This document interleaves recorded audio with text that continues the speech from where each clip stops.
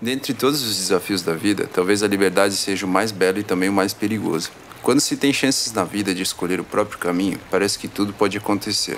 É como se você brigasse com o próprio destino para entender aonde ele quer te levar, e ele vai discutir o caminho inteiro com você o porquê dele estar te levando para aquele lugar. Mas é inevitável, ele sempre vai estar lá para te guiar.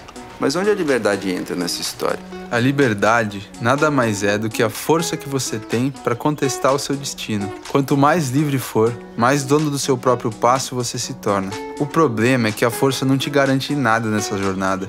Tentamos ser fortes e provar para nós mesmos que somos os condutores desse trem chamado vida. Só que, na maioria das vezes, a melhor coisa a se fazer é deixar a força de lado para ser um mero passageiro da sua própria vida. Afinal, apesar de parar várias vezes, todo trem tem uma última estação.